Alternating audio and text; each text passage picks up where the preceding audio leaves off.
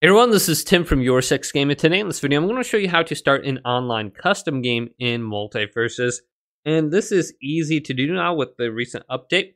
We can just go to the home screen here and go to Game Mode and select this and go on over to Other. Now we have the option for local and custom games. Now, if we want to play locally a co-op on the same TV, we can go to local right here. But if we want to play it online, we can go to custom game and select this. And then we can go to the game mode, select uh, 1 verse 1, 2 verse 2, FFA, the ring out time, and then the total time.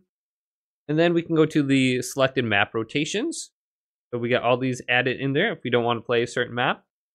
Now we can add a player, we can invite a friend. So we can go to like uh, PlayStation Network, recent, lock list. Just use R1 to tab through here. So it doesn't look like I have anyone online, but I can invite them in, or we can add a bot so let's add a Morty bot and add some bots to the other team.